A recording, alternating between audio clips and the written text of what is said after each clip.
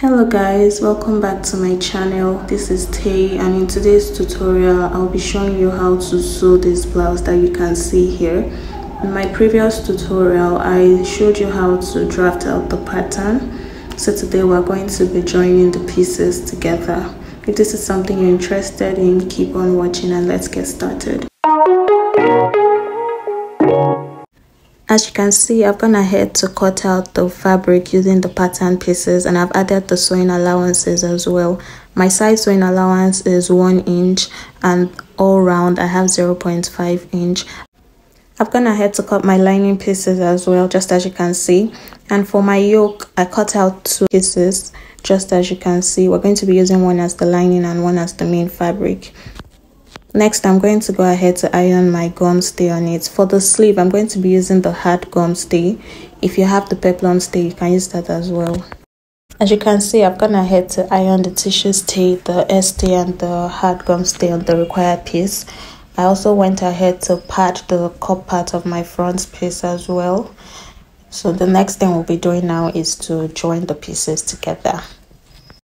Here's the front piece and I'll go ahead to stitch it down just like this and I'll do the same to the other side and repeat the same process on the lining piece as well. For the yoke part, I'm just going to go ahead to stitch down the neck and the triangles and turn it over and also iron as well. For the back, I'm going to sew each piece as well to become one and I'm going to go ahead to close the zipper allowance with a gather stitch. This is all the pieces put together after I had sewn them and ironed as well. The next thing I'm going to do is to sew my rigilene boning onto the fabric. I've gone ahead to sew the rigilene boning onto the fabric. I ended up doing it just to the front piece and I've attached the yoke to the front neckline just as you can see.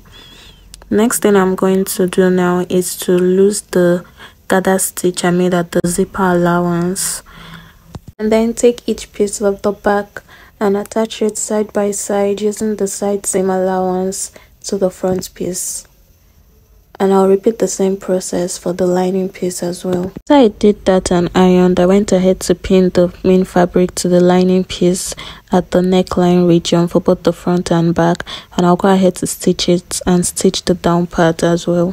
So this is it after I stitched it. I went ahead to iron it as well. You can see it's looking all neat and nice. All seam allowances and threads are inside. So there were no intentions of attaching the rigilene boning to any other parts other than the front part of the fabric. But now I'll go ahead and attach it to the side and iron and then come back to show you guys. As you can see, I've attached one part of the shoulder. I'll use the second part to explain how I did it. So place your shoulder, both front and back sides, facing each other, just as you can see. Make sure that the neck points are on top of each other. They are meeting. Then you take one piece from the back because you know we have both the lining and the fabric so you take the fabric and use it to turn both the front yoke and the lining piece inside. I hope that makes sense but just watch what i'm doing closely and you'll understand. And then go ahead to stitch it with your 0.5 inch sewing allowance. And there you have it neatly turned so that is done i'll go ahead to attach my zipper. Next i'll take my sleeve both fabric and lining right sides facing each other and head over to my machine to stitch the down part with half of an inch this is it after I had stitched and ironed. Next I'm going to fold it to the side and go ahead to stitch with the 1 inch sewing allowance that I had added. This way there won't be any seam allowances on the outside by the time we turn it.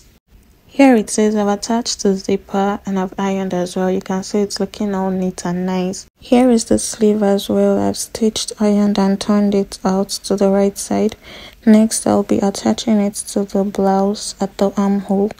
Remember I said we're going to make little gathers at the shoulder parts just so that it fits into the armhole. I'll just go ahead and do that on my machine.